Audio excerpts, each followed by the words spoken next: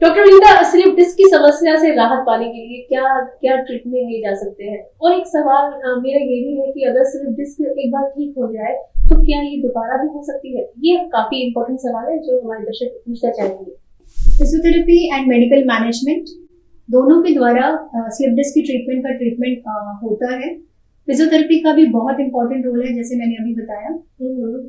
एक बार ठीक होने के बाद ये समस्या बिल्कुल फिर से हो सकती है। अगर पेशेंट ध्यान नहीं देंगे प्रिकॉशंस नहीं फॉलो करेंगे हम्म। अपने पॉस्चर का ध्यान नहीं देंगे और एक्सरसाइज करना बंद कर देंगे। तो बिल्कुल।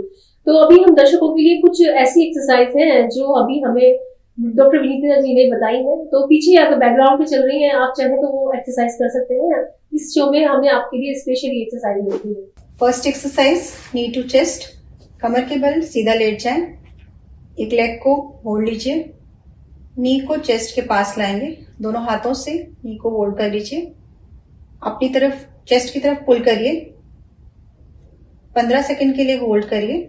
पंद्रह सेकंड के बाद हाथों को छोड़ दीजिए। स्लोली लेग को नीचे लेके आइए और स्ट्रेट कर लीजिए। सेम एक्सरसाइज आप दूसरी साइड रिपीट करेंगे। लेग को बेंड करिए। नी को चेस्ट के पास लेके आइए। हाथों से पकड़िए। नी को चेस्ट की तरफ़ पुल करिए। पंद्रह सेकंड तक होल्ड करिए। स्लोली रिलीज़ कर दीजिए। लेग को नीचे लेके आए और स्ट्रेट कर दीजिए। पायरिफॉर्म स्ट्रेच कमर के बल सीधा लेट जाए। लेग्स को बेंड कर लीजिए। लेफ़्ट लेग का एंकल राइट नी पर रख लीजिए। राइट थाई को चेस्ट की तरफ़ पुल करिए। दोनों हाथों को इंटरलॉक करके उसकी हेल्प से एडिशनल प्रेशर लगाते हुए राइट थाई को अपनी चेस्ट की तरफ़ पुल करिए। 15 सेकंड तक इस स्ट्रेच को मेंटेन करें। उसके बाद स्लोली हैंड्स रिलैक्स कर लीजिए। थाई को नीचे ले आइए। लेफ़्ट लेग को नीचे ले आइए। सेम स्ट्रेच हम दूसरी साइड रिपीट करेंगे। राइट साइड का एंकल लेफ़्ट नी पर रख लीजिए। थाई को अपनी चेस्ट की तरफ़ पुल करिए। 15 सेकेंड्स तक इस स्ट्रेच को मेंटेन करिए। और फिर लेग नीचे रख के रिलैक्स करिए।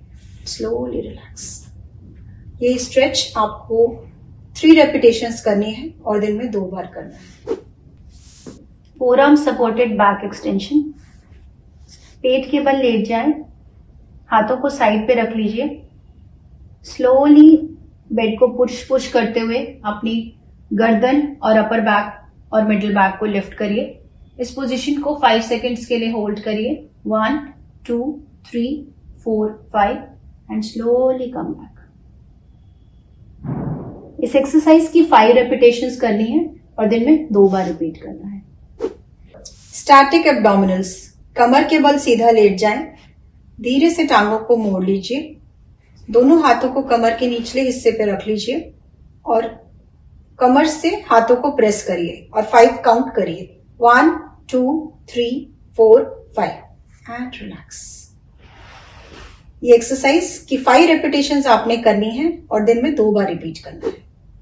टमीटक एक्सरसाइज कमर के बल सीधा लेट जाए, दोनों टांगों को स्लोली मोड़ लीजिए। अपने नाभि को अपने अंदर की तरफ़ खींचना है और फाइव सेकेंड्स तक रोकना है। One two three four five and relax hold time as a progression आप बढ़ा के पाँच सेकेंड से दस सेकेंड्स भी कर सकते हैं। इस एक्सरसाइज की पाँच रेपिटेशन करनी है और दिन में दो बार रिपीट करना है। ब्रिजिंग एक्सरसाइज कमर के बल लेट जाइए, दोनों टांगों को मोड़ लीजिए, हाथों को साइड पर रखिए स्लोली हिप्स को लिफ्ट करिए और फाइव काउंट तक होल्ड करिए। One two three four five slowly नीचे आ जाइए। इस एक्सरसाइज की फाइव रेपिटेशन करनी है और दिन में दो बार रिपीट करना है।